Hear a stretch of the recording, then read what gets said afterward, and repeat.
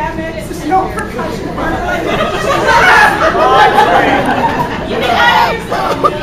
Oh, you, you have learned well by now. And he's brilliant. He's very Oh, good. yeah. I better, I better, I better sit over here. See, you communicate through your eyes, Brian. Oh, he does that.